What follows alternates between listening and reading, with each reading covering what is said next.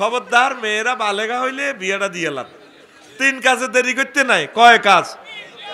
একটা হইল জানাজার নামাজ তারপরে জানাজা তুই যা ওহুদিরাত জানাজা আই গেলে নামাজ, জানাজা পড়িয়ে লেবে মৈয়ত মরলে দেরি করিয়ে না। ও সালা তুই যা ওকিতাত নামাজের সময় হইলে তাড়াতাড়ি পড়িয়ে লেবেন। তারপরে ওয়াল আইয়ে বুঝা বালাগাত। আর আপনার মাইয়া যদি বিয়ে লাগ হয়, তাড়াতাড়ি মাইয়া বিয়ে দিয়ে লেবেন। কারণ আমার মেয়ে না, একটু বিশেষ কাটার হোক না। একটু ম্যাজিস্ট্রেট হোক এরপরে একটু এস্টাবলিশ হলে না এরপরে চিন্তা করব আর কি।